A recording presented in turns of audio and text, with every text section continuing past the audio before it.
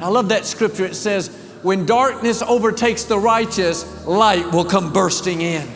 That's saying, you know, sometimes there will be some darkness, there'll be some trouble, there'll be some difficulties, but God doesn't say, well, too bad, man, you're on your own. No, He says, suddenly light's gonna come bursting in.